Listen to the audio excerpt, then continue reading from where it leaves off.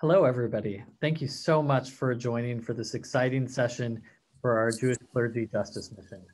For the past week, more than 70 Jewish clergy from across the country have been learning with us about anti-hunger issues, challenges for anti-hunger policies, and opportunities in the time ahead.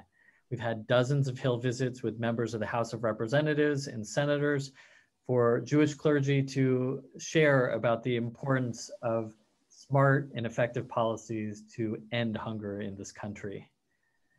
As we get toward the end, we're going to have a great discussion of what's next for the anti-hunger movement.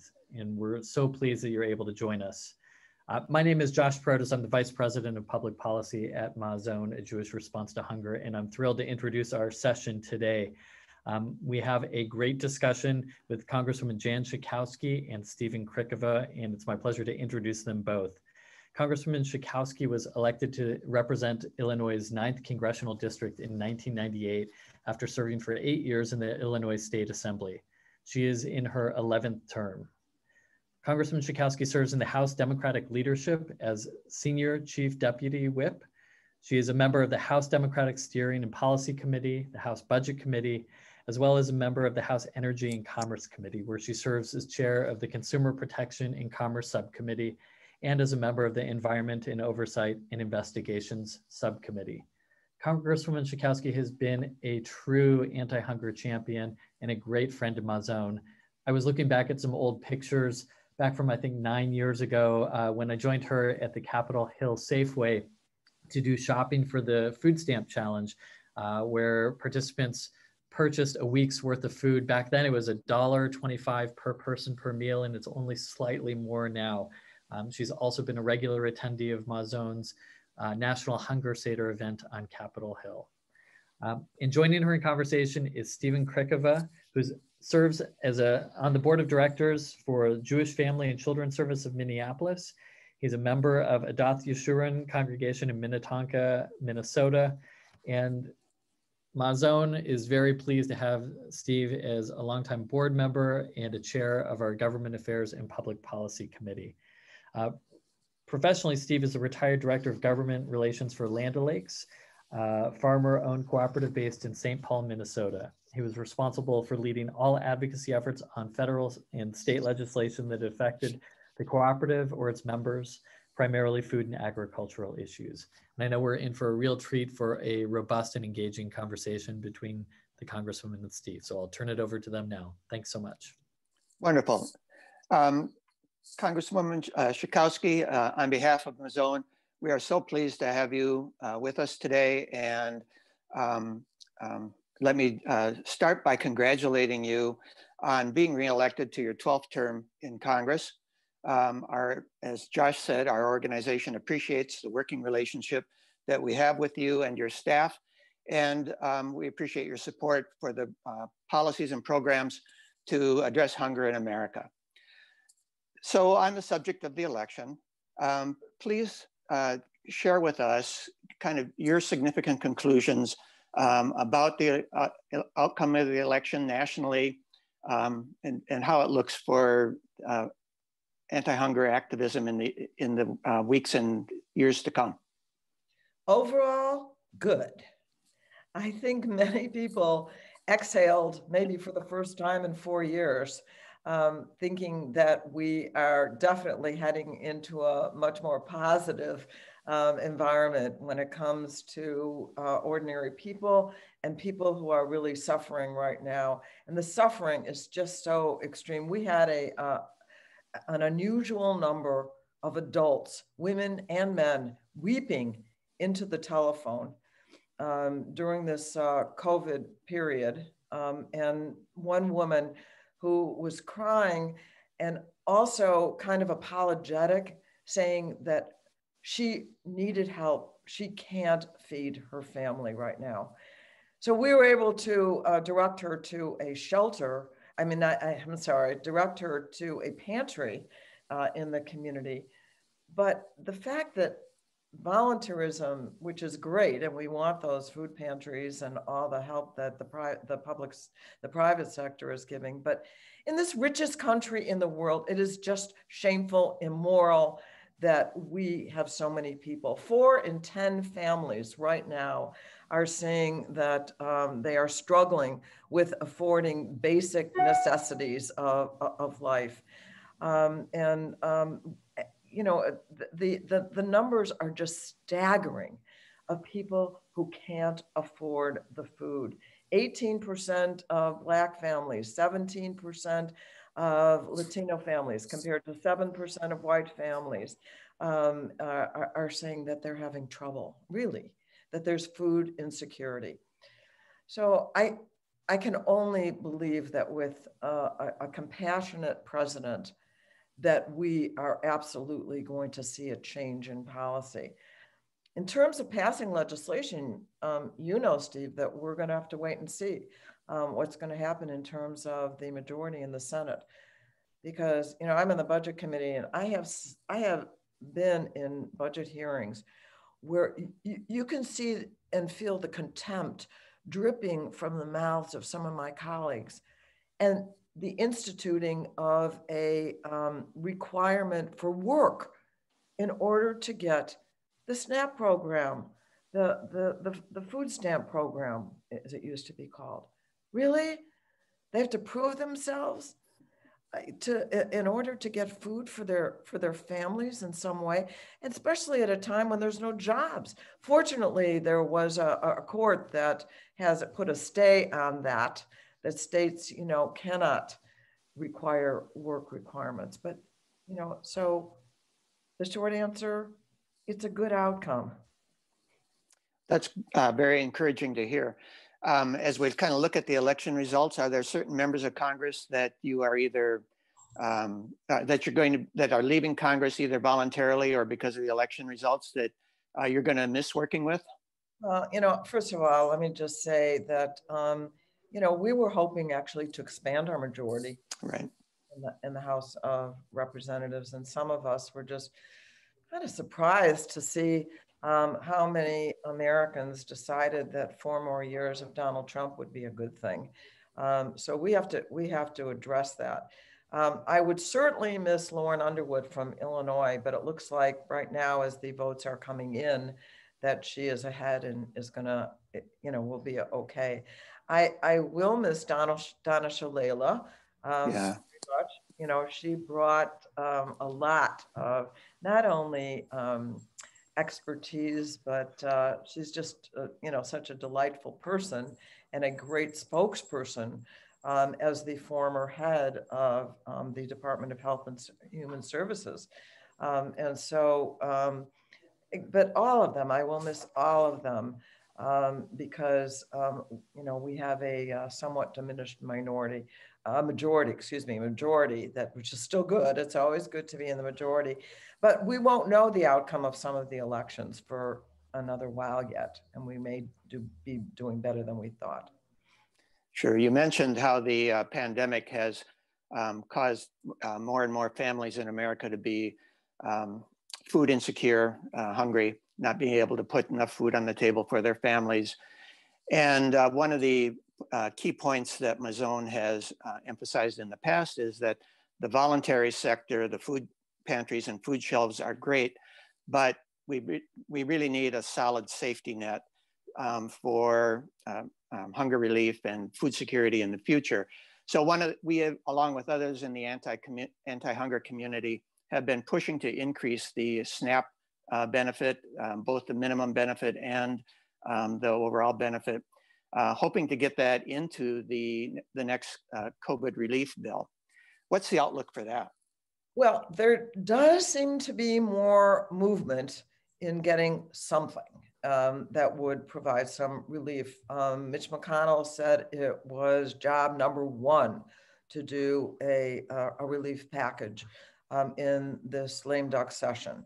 Um, and um, even and the White House has said they, they want to do things like um, unemployment insurance and the um, Paycheck Protection Program, uh, PPP, which can help businesses um, to, to thrive. And our emphasis would be on smaller businesses and mom and pop stores and et cetera.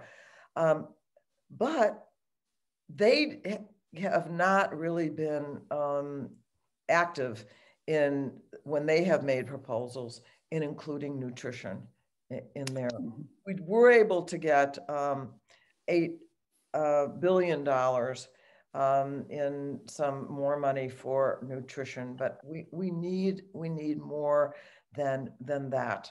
And what's going to happen um, in uh, as we move ahead on the um, funding for this year, so we don't end up with uh, a shutdown uh, again. That's one of the undone things. We're still going to work to put more money for nutrition into um, the um, appropriations bill so that uh, we can address this. But let me just give you an example how bad it is in terms of COVID. 15% of adults living with children report that their children didn't have enough to eat in October. Compare that with last December when 1% of adults said that. So the, we, we are seeing the direct consequences of this uh, COVID situation, the, the, the virus, the pandemic, um, that is really depriving our, our kids, our families of the, uh, of the food that they need. This is just completely unacceptable. So we have to make extraordinary efforts, not just ordinary efforts to make sure that we keep funding the SNAP program and the emergency programs, but we have to do extra right now. I'm talking to you from Minneapolis, and um, our governor just is tightening up or shut, help, shutting down more of the um, activities that are allowed in the state or promoted in the state. And um, um, we just lear learned that our the school district where we live in is going now to complete remote learning. And while that's great from a public health standpoint, it raises the question about all the children who rely on the school lunch program in order to um, to meet their daily uh, nutrition requirements. And it, it's going to be a real challenge up here in Minnesota. How are we going to get those children fed? Everywhere. Um, you know, we're seeing these outbreaks and um, these surges of the virus all over the country, and that is going to be an increasing problem as states like uh, like mine um, begin to look at more um, shutting down so that people are at uh, at home.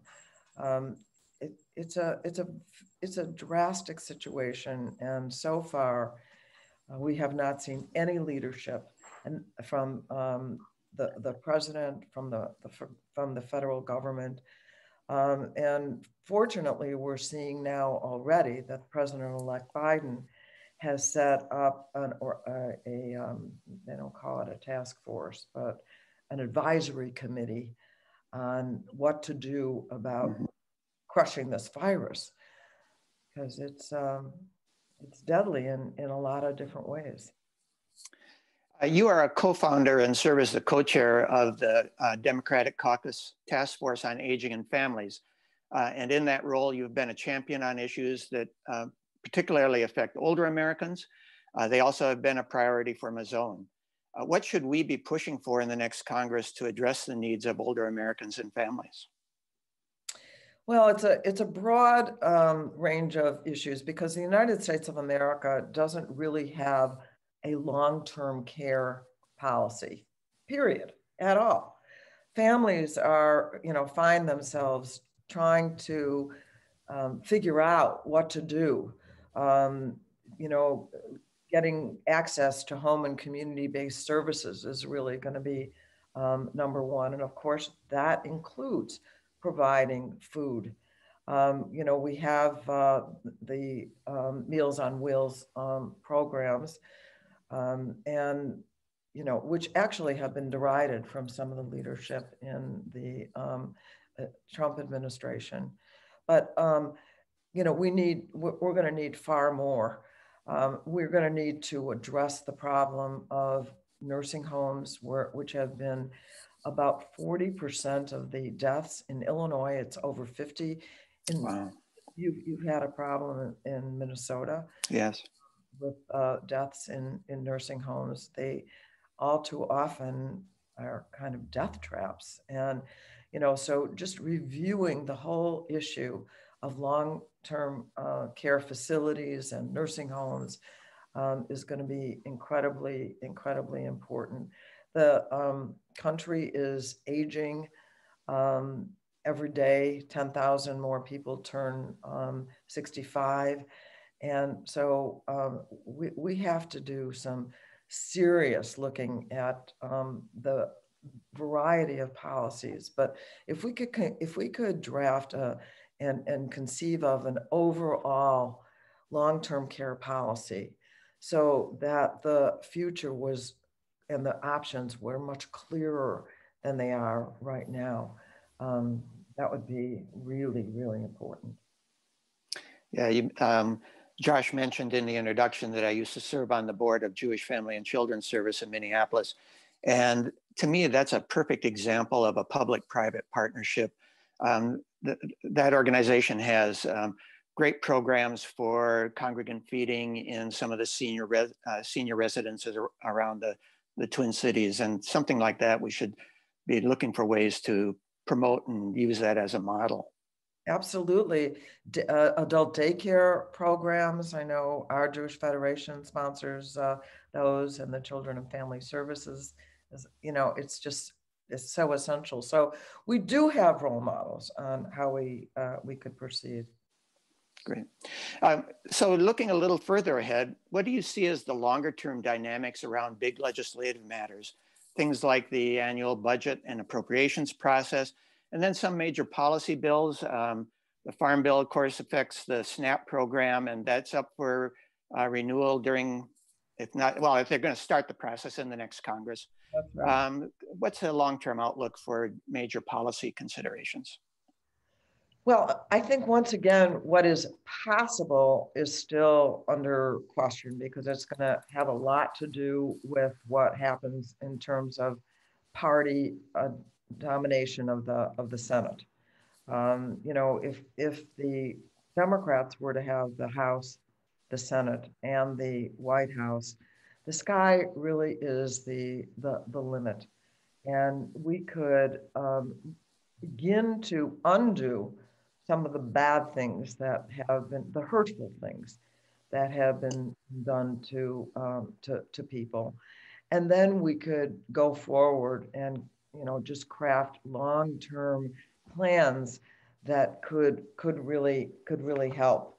Um, and and so I think the the election certainly has has been a so far seems to be really positive in the way of executive orders that I think all of us ought to be thinking about. Certainly, um, the Trump administration has used executive orders in a way, mostly I think that has been uh, discriminatory often and harmful.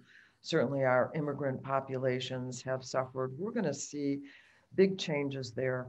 Um, the um, going going forward in general, the the, the um, president-elect Joe Biden has said that we're going to rejoin the Paris Accord. We're going to rejoin and begin funding again the World Health Organization which is important in our own self-interest, not in just the interest of others as he sees the, the rest of the world. That is that uh, the that uh, Trump does.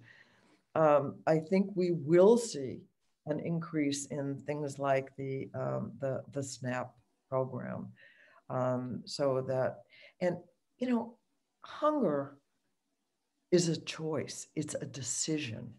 There is no physical reason why people in this richest country in the world, in this most abundant country in the world, need to go hungry. It, it, it, it actually is just a definition of the kind of inequities that we have in, in our country that, that we could solve. And God bless Mazon for the work that, that it is doing. I, I should have started with that. And I want to say that at every opportunity. You know, I am so proud to come to um, the Hunger Seder um, every year that is held in, in the Capitol.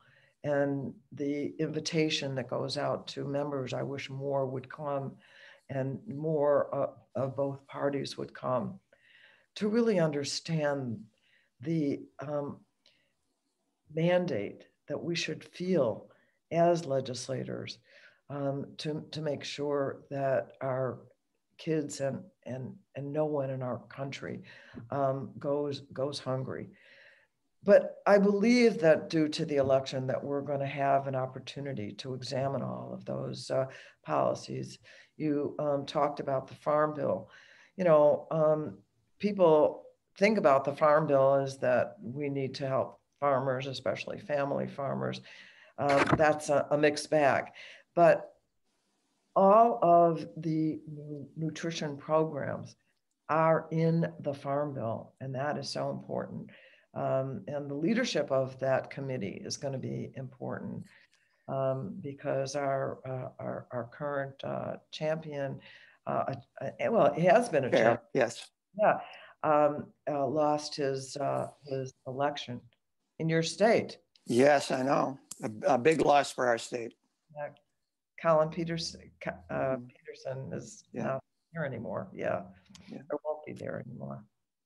Yeah, I know you don't serve on the Ag Committee, but uh, with a, a new chair coming into that committee, uh, David Scott from Georgia um, will be the first African American to be to chair the Ag Committee, and from certainly from a nutrition standpoint, Marcia Fudge from Ohio being the continuing, I hope, as the chair of the nutrition subcommittee, really gives us a chance to have some um, advocates in leadership roles uh, on that committee as they do begin work on the Farm Bill.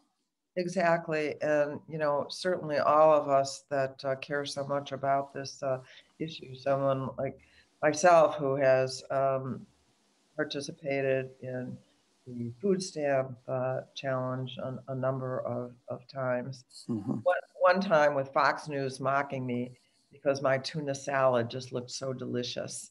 that, oh, what's the problem with that? Kind of, you know. Sad.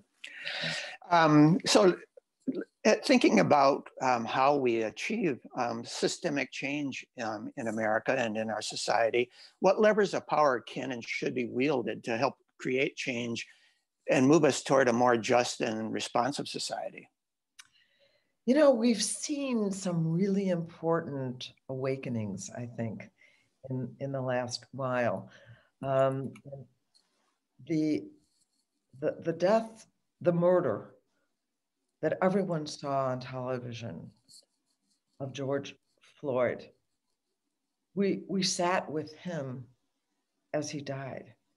Everyone saw it. And it, and it ignited this movement of de- demanding not just in in the, the regulation of the police, although it did prompt a bill, the number of people who hit the streets. And the impressive part of that was it wasn't just black and brown people. It was um, people of, you know, white people, people of all ages that, that actually took to the streets at some risk given this uh, pandemic right now to say, no, we will not tolerate this injustice that expose, has exposed itself in such high relief during this time of COVID. You know, we're seeing African Americans and um, uh, Latinx people die um, much more frequently from COVID 19 than white people and people of means. Um, and, and so we, we, we are seeing people that are in danger of evictions and the, the house, the, the lack of equity in housing. All of this has been really uncovered and the demand has never been stronger for, for justice, not just in the criminal justice system, but throughout our, our country. So, what do I think is the most important thing? The most important thing has been the organizing that is going on outside, the coalitions that are coming together for, for justice, um, that are going to put enormous pressure. It can't be ignored anymore there's an intolerance that I appreciate that has come out that says, you know, this this isn't this kind of thing, and we've seen it, of course, in voter in voter suppression, and a lack of passage of the um, John Lewis legislation to restore the Voting Rights Act. Um, you know, this um, outside movement cannot be underestimated. So, as an organizer myself, I say to people, understand your power. We cannot make any significant changes without you. That um, Justice in Policing Act wasn't on any agenda. That was nowhere. And then within weeks, the House passed a really good bill. And even the Senate passed a, a much weaker bill because of an understanding of this demand that was coming out there. So, you know, we have to work hand in hand, inside and outside, inside the uh, the, the House, and hopefully, you know, we'll have more support in the Senate. Let me just say something about the Senate too. Even if Mitch McConnell, all we need is for Mitch McConnell to call some of these bills, and yes. they will pass because there are enough Republicans who will vote for um, these these important pieces of legislation on on gun violence. I believe uh, even on, on the on the SNAP program. On, eh, so we just need Mitch McConnell not to demand a majority of his majority, but to call some of these bills and let his members, along with Democrats, decide. You know, you made a very good point when you were talking about um, the importance of organizing. And so much work was done to organize to get out the vote. But it's more than just getting out the vote, it's continuing the effort in the weeks and months ahead in order to, to really um, make the change happen. Winning elections is just step one. Exactly. No, we can't. And, and, you know, I just I wonder sometimes if there was a kind of complacency um, after Barack Obama won that you know we didn't need to be as um, a, a, as organized, and I think we paid a, a heavy price um, when Hillary Clinton was running for for president of you know not paying enough attention to the organizing aspect and getting out the, the, the vote. And it's amazing, actually, in this in this uh, during this COVID pandemic, that these unbelievable numbers. It looks like um, uh, Joe Biden got uh, 75.6 million. Probably be, it'll be more than that, closer to 76 million um, votes, the record in in history. Um, and, um, and, and Donald Trump was second in the votes that, uh, that, that he got. Um, so many millions of people came out to vote. One, because they had the option of staying safely at home and voting by, by mail. Um, and we have to make sure that voting rights are complete. I think we need national legislation to define what that right to vote really is to make sure that every person has the opportunity to uh, to, to cast a, a, vote. I think that should, that is on the agenda.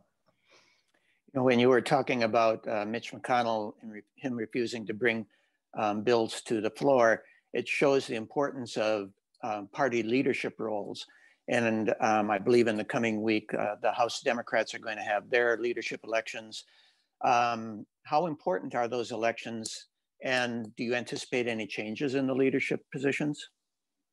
Well, I certainly believe that our Speaker, Nancy Pelosi, has demonstrated her um, brilliance when it comes to um, negotiation, understanding how to maneuver a very fraught situation and getting many achievements.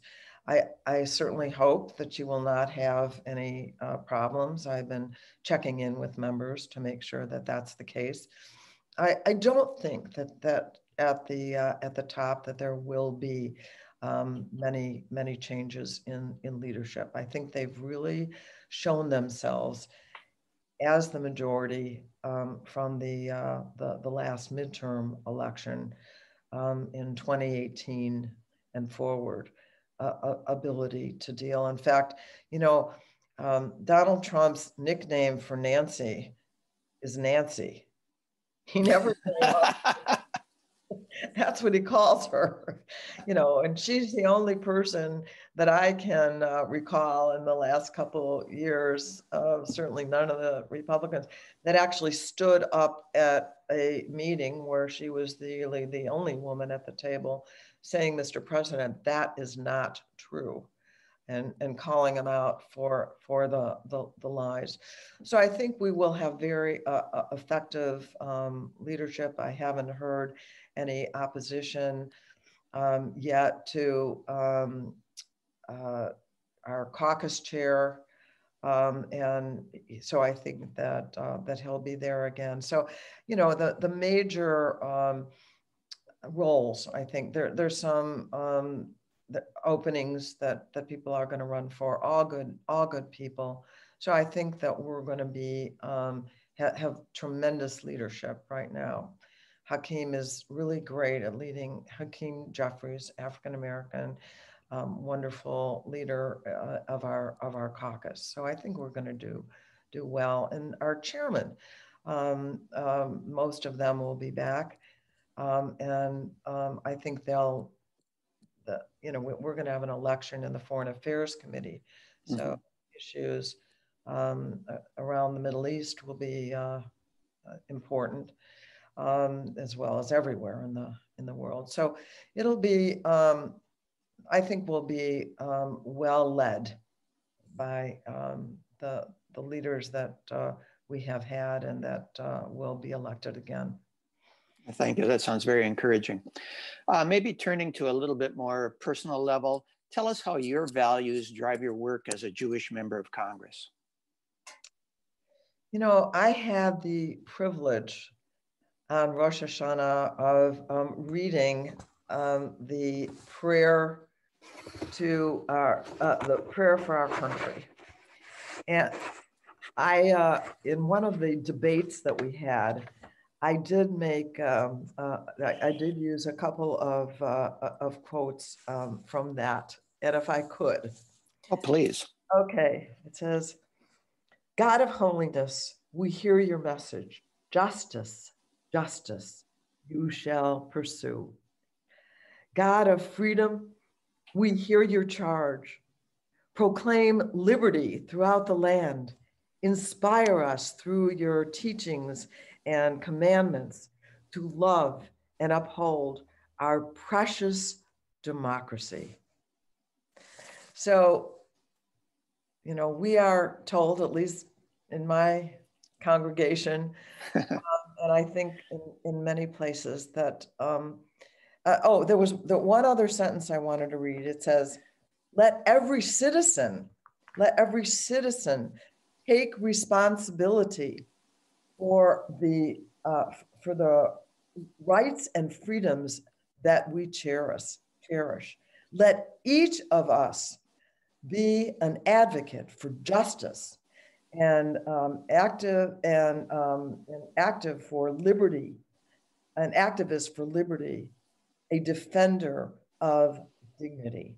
So it's not only that we in Congress, it's every person to take personal responsibility. I love that's the best part um, that that I think of, of that. It, it very much influences. You know, I, you know, I had a bat mitzvah, which when I think about it, I'm 76 years old. At the time was not all that common for girls. Yeah, that's right. Have a, about about mitzvah. I didn't think of it until actually pretty recently when uh, a relative of mine said, yeah, you had a bat mitzvah before a lot of women did. So, you know, there is this, uh, this definitely a voice in, in my head um, and in my heart. Um, and my Jewish upbringing definitely has a part to play. And so then I think maybe the flip side of that is how is an adv advocacy message perceived by lawmakers when it's delivered from a faith-based group uh, such as the clergy who are participating in this justice mission? Oh, I think it's it's perceived well, but there is always that touch of racism that we've seen, you know, growing, and anti-Semitism, where we're seeing many more acts of anti-Semitism. I think overall, though, in our culture, the the voice of uh, of clergy um, is in general respected, um, and and I believe very very important that platform um, to talk about moral authority and and what justice really really means. I think um, that the, the the role of the religious sector is very very important.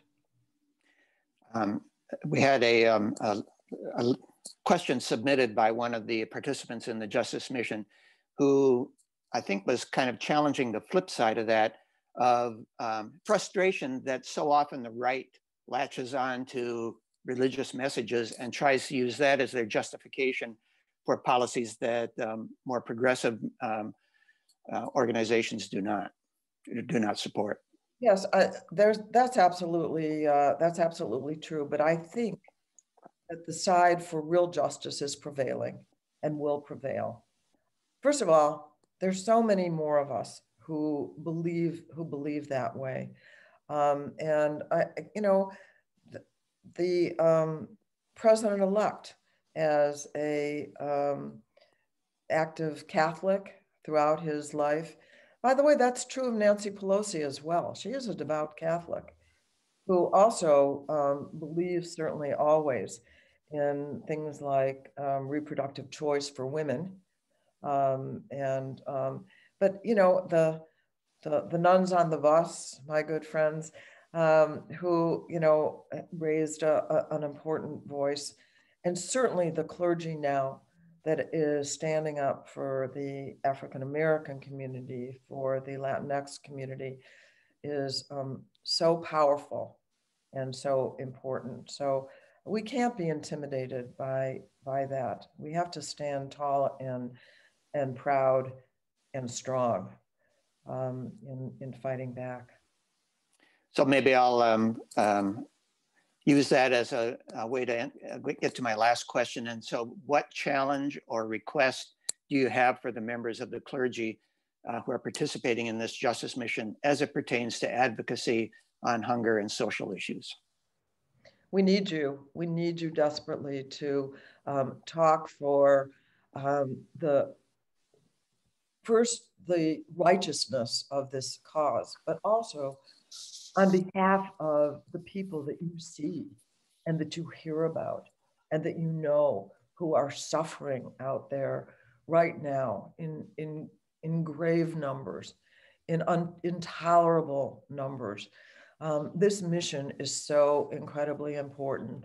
I, I thank Mazon for taking such a, a great lead in that, for bringing together coalitions um, that will that will speak out and I know will resonate um, not only um, with the the decision makers, but also to help mobilize the numbers of people, the numbers of people of of, of faith, and even people who not uh, who don't believe um, in in any religion, um, to understand how important this this justice mission is. But often the eloquence is coming from the faith community. Um, and we need it so much now, perhaps more than ever. Well, thank you very much. I really appreciate you spending your time with us this morning and um, good luck in the weeks and months to come. I hope I'll be able to um, go, maybe we'll even be able to have a, a, a real um, hunger seder in, in where we can come and join join each other. That will happen at some point, and I look forward to it. Thank you for inviting me. It's really been an honor, and thank you for the work that you do. Thank you. Wow, what an amazing conversation. Thank you so much, Congresswoman Schakowsky, and thank you so much, Steve. Um, I think it gives us amazing comfort to know that the Congresswoman is there fighting for our values, fighting to help end hunger in Congress. Um, we're so fortunate. And thank you to all of our Jewish Clergy Justice Mission participants. Um, we're so appreciative that you've been able to join us over the past week. We hope that you've learned a lot about hunger issues, about the challenges uh, that we face in the political environment, and the opportunities for us to make a difference. And as we heard from Congressman Schakowsky, the voices from clergy matter. They matter a lot. Uh, you have a moral authority. Um, you bring your community voices. You can bring the voices of those who are impacted most by these issues. I want to just remind everybody that tomorrow we will have our closing reflection with Rabbi Joel Pitkowsky from Mazon's Board of Directors at 9 o'clock Pacific, 12 o'clock Eastern. And this will be a chance to reflect upon the sessions, to report back on our congressional meetings, discuss what's next for you and your communities, and for us to welcome Shabbat together. So thanks again for joining us uh, today and for the Jewish Clergy Justice Mission. And we look forward to opportunities to continue working ahead. Thanks so much.